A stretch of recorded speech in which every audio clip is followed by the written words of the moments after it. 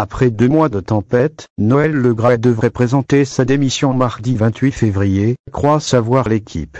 Le Gras est sur le racisme au sein de la FFF. Un septième Le Gras est sur le racisme au sein de la FFF le 15 juin 2021. Le dirigeant de 80 ans avait déclenché une nouvelle polémique en laissant entendre qu'il n'y avait pas de problème de racisme au sein de la FFF. Attends, moi je suis chef d'entreprise, j'ai des salariés, jamais même ici, ma secrétaire, allez voir sa couleur de peau. Et le directeur que je viens d'embaucher, un dialogue, avec-il indiqué pour SoftFoot. Le Gras est sur l'homophobie dans le football 2, 7. Le Gras est sur l'homophobie dans le football le 10 septembre 2019. Noël Le Gras déclaré au micro de France Info au sujet des arrêts de match en raison de manifestations homophobes dans les tribunes. Considérer que le football est homophobe, c'est un peu fort de café, je ne l'accepte pas, avant de différencier l'homophobie et le racisme. Ce n'est pas la même chose. Le Gras sur le racisme dans le football 3, 7. Le Gras sur le racisme dans le football le 15 septembre 2020. Le dirigeant breton avec de nouveaux faits polémiques en évoquant le racisme dans le foot. Quand un black marque un but, tout le stade est debout. Le phénomène raciste dans le sport, et dans le football en particulier, n'existe pas, ou peu, avait-il lancé sur les antennes de BFM. Le Gras est sur l'équipe de France féminine 4, 7. Le Gras est sur l'équipe de France féminine le 3 mars 2021. Noël Le Gras s'est défendu d'une déclaration sexiste au moment d'évoquer les tensions au sein de l'équipe de France féminine. Aucun match perdu. Voilà ce que je retiens. Donc elles peuvent se tirer les cheveux, ça m'est égal, avait-il lâché au sortir d'une réunion au siège de la Ligue de Paris-Île-de-France.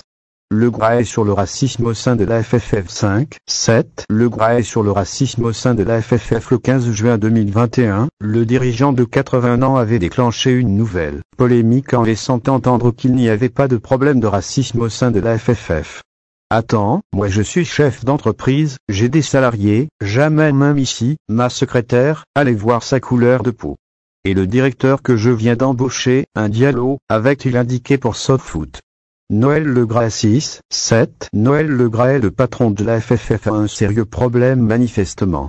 Le Gras sur Zidane et la succession de Deschamps 7, 7. Le Gras sur Zidane et la succession de Deschamps le 8 janvier 2023. L'ancien maire de Guingamp déclenchait un raz de marée en manquant de respect à la légende française Zinedine Zidane sur les ondes de RMC.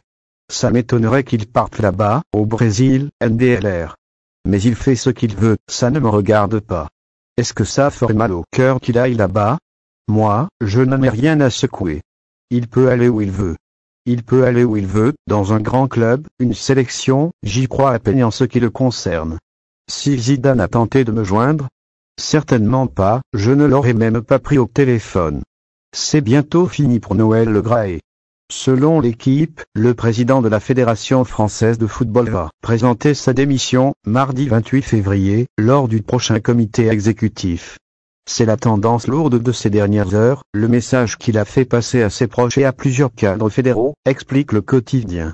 C'est l'issue attendue, tant la situation semblait inéluctable depuis la publication du rapport à Blanc commandité par le ministère des Sports, mettant en lumière des agissements peu en commun avec le comportement attendu d'un homme à ce poste. Noël Le Gras avait été mis en retrait de ses fonctions le 11 janvier dernier, au plus fort d'une tempête qu'il avait lui-même déclenchée avec ses propos peu respectueux envers Zinedine Zidane.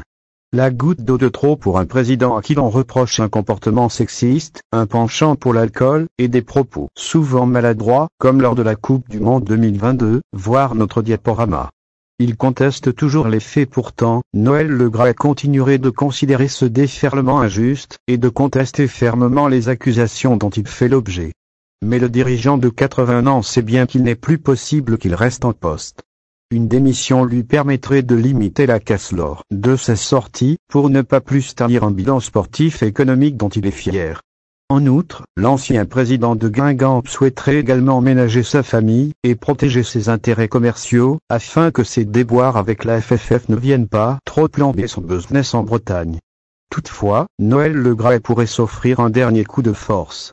Il pourrait vouloir conditionner son départ à celui de certains membres du COMEX qui jugent déloyaux avec lui, explique ainsi l'équipe. La réunion de mardi pourrait donc nous offrir une ultime